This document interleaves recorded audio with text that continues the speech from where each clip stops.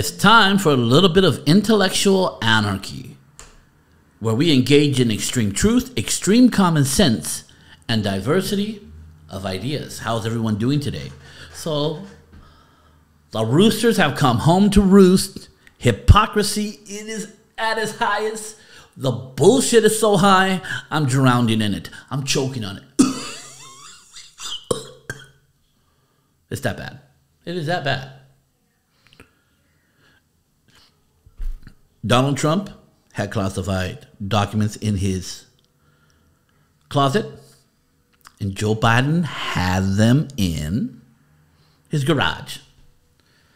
The only difference is that Joe Biden came out and slammed the former president for being negligent and irresponsible with classified information to then be guilty of the same crime.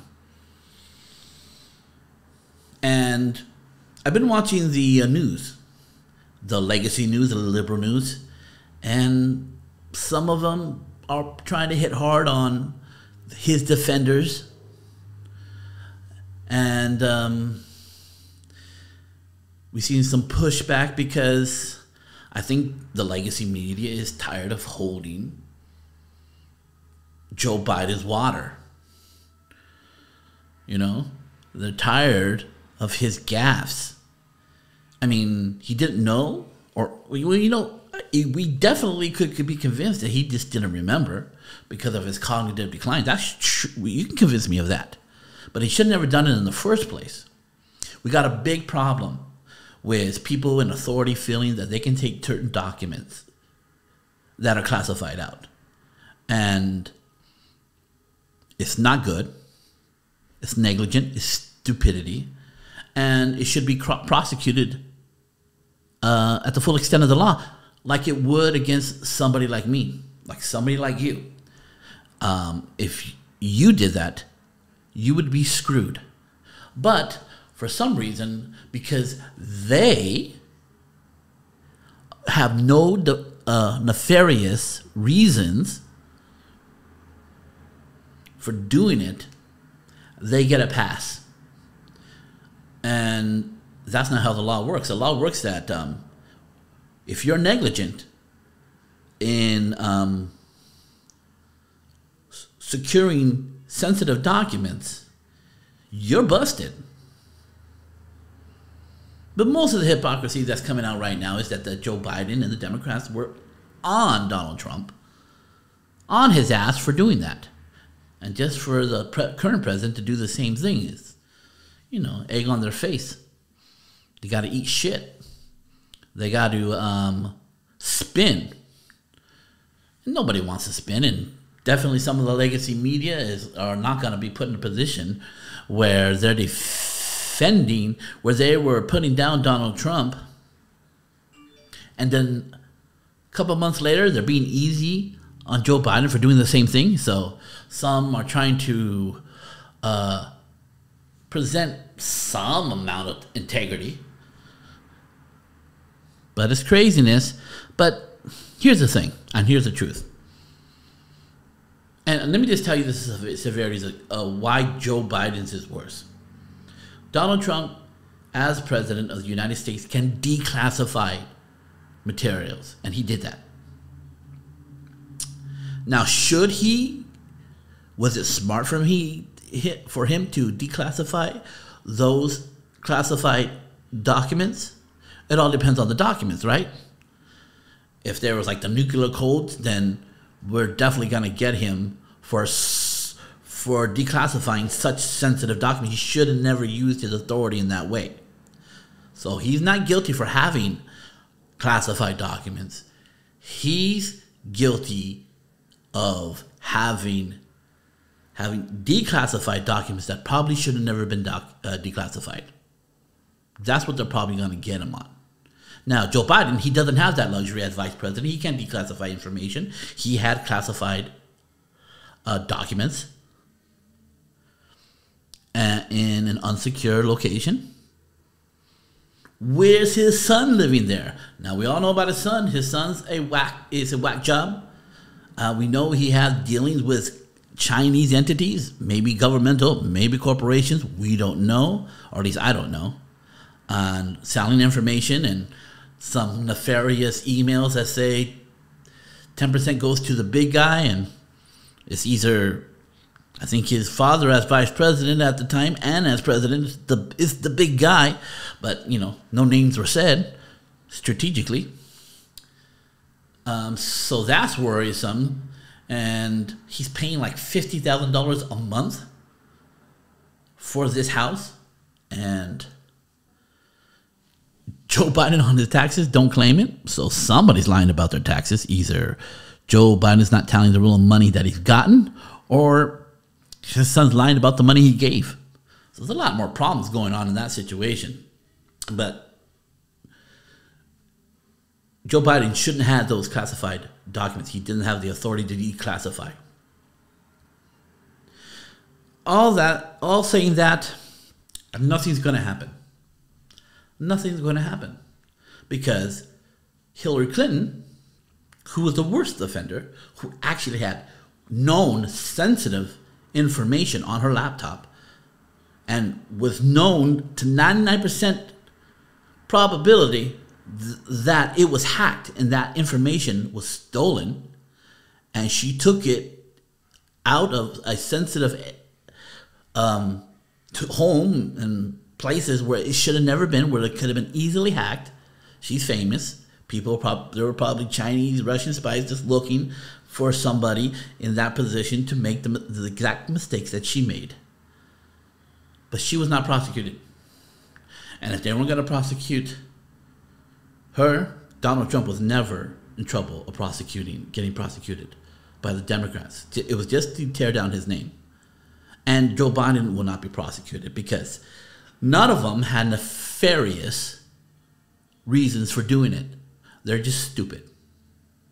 They did things they weren't supposed to do, or they were doing something that is a common practice and no one speaks about. One or the other. But the, all three of them are guilty. And all three of them can be prosecuted under how the raw law is written. But since the way we are implementing the law, those in legal authorities are saying they're not going to prosecute if there's no nefarious reasoning. We're just going to chalk it up to stupidity.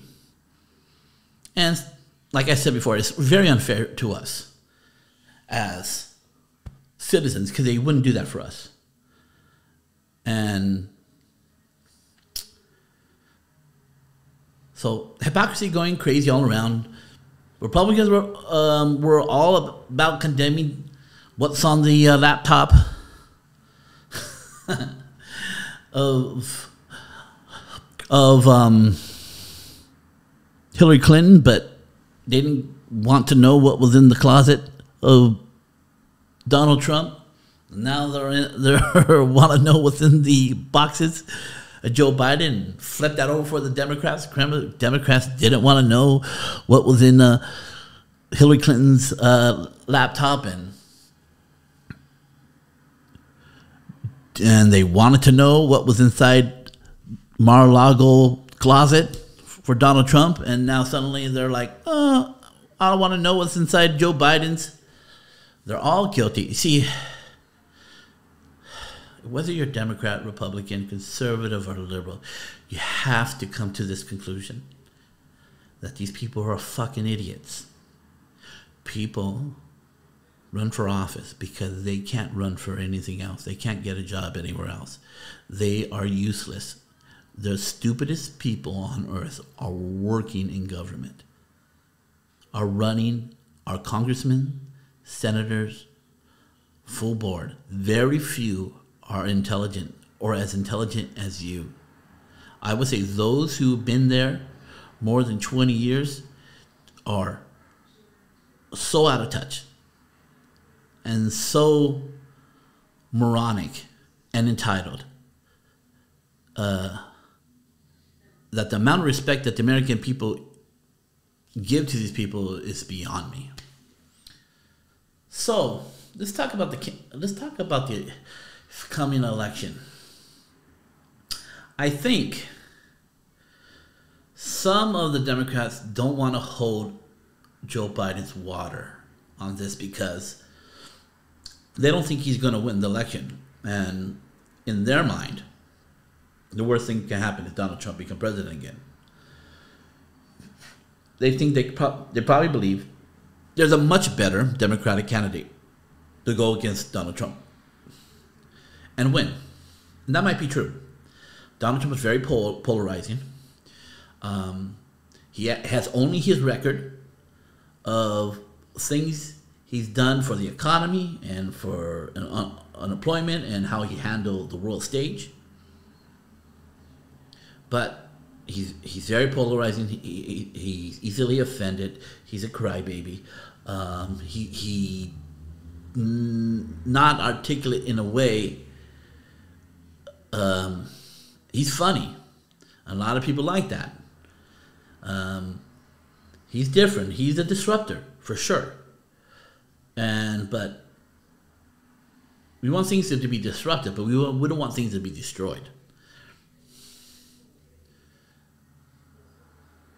So, and let me just tell you what, what I think the calculation is Joe Biden versus Donald Trump, anything can happen. Donald Trump against uh, a good Democratic candidate, which I don't see. I think only maybe Michelle Obama or somebody who's just not revealed themselves yet. Talking like the Antichrist or something, but uh, like sort of like Barack Obama, right? He came quickly on the scene. Within four years, he ran for president. He became president, right? We didn't know enough about him to hate him. And if you look at his voting record in the in the Congress, it was like he never voted on anything. So his plans was always to be president, uh, not to be a senator or a congressman. not a senator, and um, he didn't do anything that locked him into one camp of ideology of extremism, which was cer- certainly smart because he knew he had forethought about where he was going. So that may that kind of democratic person may be Donald Trump, but so far the candidate Donald Trump wins uh, any Democrat at this point, except for Michelle Obama, wins.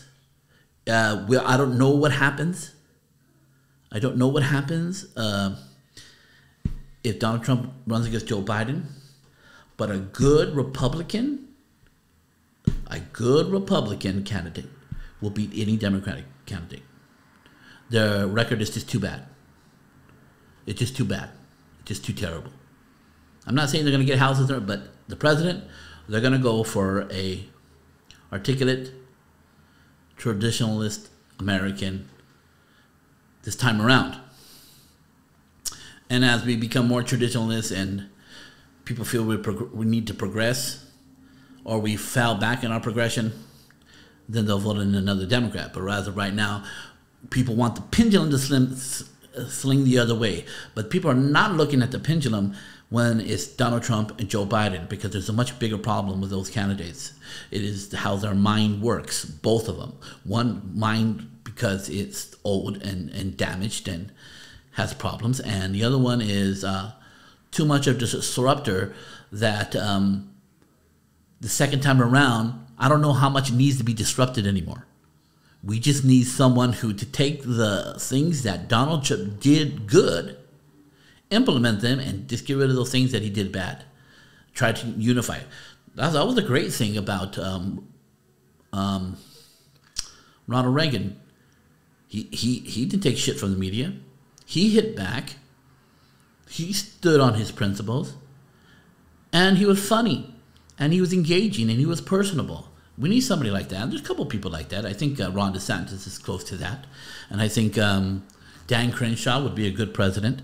I think those two in the next election can win anybody. But Donald Trump is a troublesome candidate for Republicans. It's not for sure. So this is what I would do. since the Republicans have have control of the House, I would prosecute Hillary Clinton, Donald Trump, and Joe Biden. And I will prosecute them. And the only way they can avoid uh, prosecution is say they don't run for a second term. That's what I would do if I was Republicans. I would remove Donald Trump from the from from the playing field. I would remove Joe Biden from the playing field, and it's not really a, a painful for Hillary Clinton because nobody's going to vote for Hillary Clinton. I don't think she's going to want to run again. She'd be stupid to. But just in case she did, I think you would have a fresh, new landscape where Dem- Republicans can win very easily. Again, if we take Donald Trump out of the running. And the way you do that is prosecute him to the full extent of the law, the threat of jail only if he does not run for, for president or do not allow him to run for president anymore.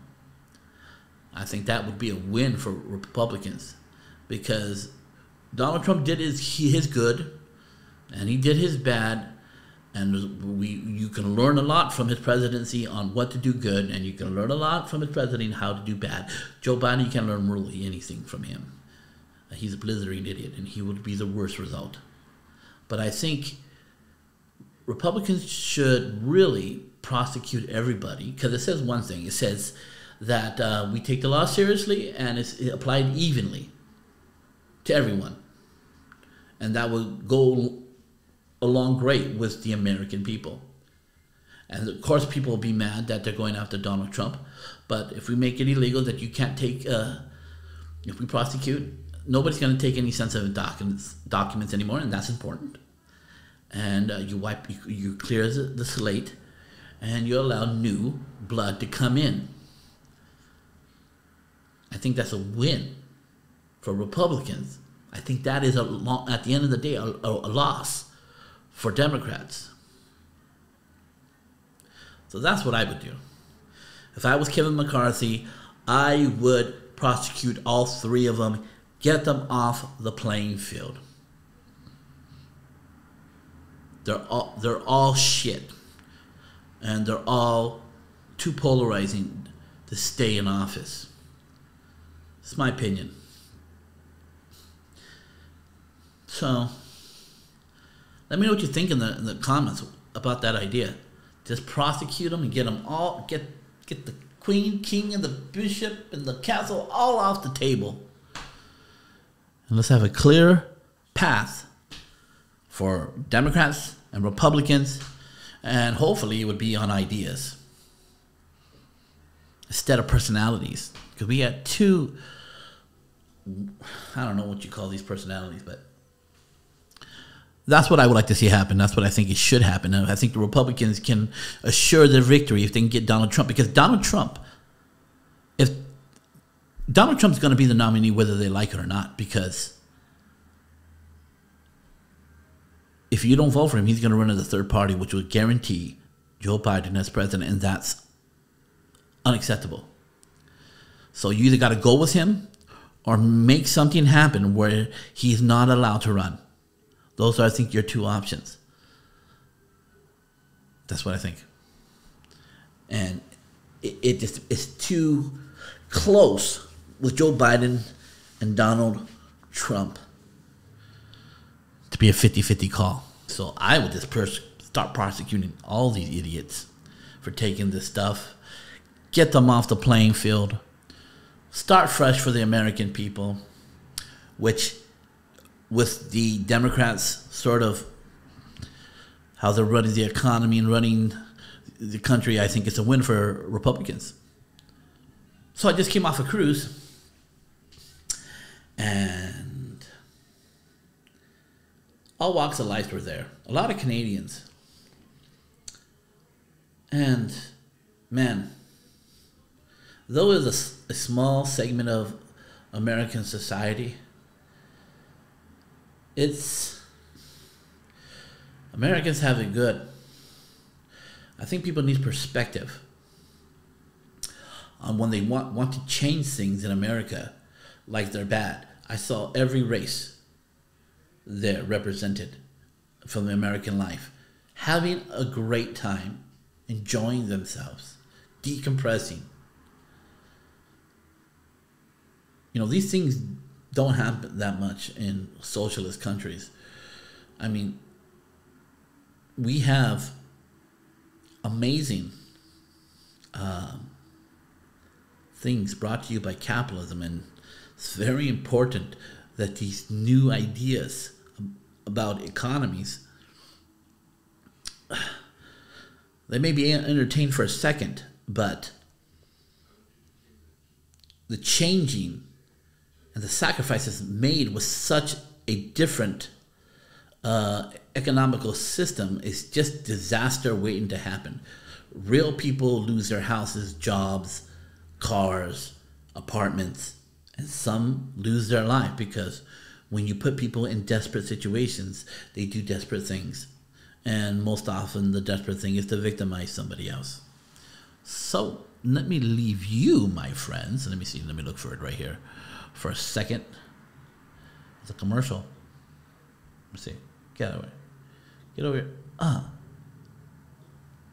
Hey everybody, it's James Salazar with James Salazar Media here. If I can just have a moment of your time to talk about some of my shows and some free things I have for you. First of all, on my YouTube channel, I have the Brightburn YouTube Academy where we talk about mindsets and belief systems of what it means to be an entrepreneur. We also have the Intellectual Anarchy Show where we talk about politics, philosophy and religion, I think they're inseparable from having a keen mind and intellect.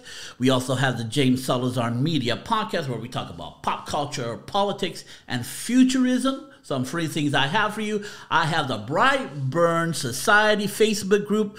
Here you gather with like minded people on the same journey you're on, on meeting your goal, fulfilling your dreams, and what it means to be an entrepreneur. I also have a free handout, an ebook called How to Be Great at Everything You Do Blueprint. And also, if you want me to come speak at your event or you need some life coaching, you can find both these links in the James Salazar slash sling address or take a picture of my QR code and we'll all link you to all this stuff. So thank you for your time and have a good day. So my Hey everybody, it's James Salazar with James Salazar Media here. If I can just that dude needs to shut up. So I want you to put if what you think about my idea, whether, it should be in the show notes. And this coming year, like I said before in the last uh, New Year, and, and I just want to wish you all a happy New Year. That um, you just have to look at the American society with perspective and look at all all the other societies and people clamoring to get into this country by the thousands um, they want to come here because it's better. That's it. All right. So no other way around it. They come here because it's better. There's more opportunity here, and we're having people trying to change the economy and change how we do things um, because of equity, because of make things more fair, but it doesn't make things better. Equity and fair doesn't mean better. It just makes everybody equally miserable. And that might be a good way to get, a, get all the undocumented people out of here, but that's not a good thing for Americans. It's just not. So we need to apply the rules evenly for people to make America great. Same law for everyone, same opportunities for everyone. But we can't and we shouldn't try to legislate the same results because that's just not how our life works. And it will never work that way. We just need to get out of people's way that those who are more ambitious, those who are more, uh, who just have more talent or more physical abilities, that they have the ability to rise. And that we present many opportunities by allowing certain people to rise to create jobs for those people who just want to work hard and have a house and have a car and go on vacations. They don't have no big grand idea, but there's opportunity for them to thrive. We do that by letting the extraordinary thrive. It brings opportunity for the regular people to thrive. But if you shut down the extraordinary and trying to make them have the same results as everybody else, you're going to make everybody have shit results. And not only will their results be bad, the, the people who may not push for a bigger things, they will have less opportunities. And that's just, just a fact. We can see those societies. There's no op- more opportunities that come for people who try to control economies. Where governments try to co- control economies, there is no more. There's not more opportunities. There's less opportunities. But when you allow the free market to be free, that's when all boats rise. And it's happened time and time again. In the last 50 years, almost 2 billion people have been taken out of poverty. There's never been a social program, government program that's ever done that. Capitalism is flawed, but it's the more, most moral economical system in human history. So, if you need your boat to rise, come look at my page with a QR code and seek life coaching. You want your boat to rise above at the right time, at the right moment, taking advantage of those moments. Take a look, go to the QR code, set up a call with me and we can get your boat moving. Let's bring this boat to shore.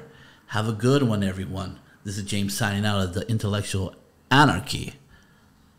See ya.